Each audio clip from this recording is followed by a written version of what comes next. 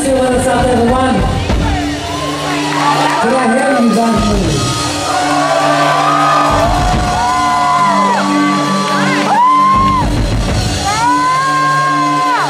Stop representing the faded.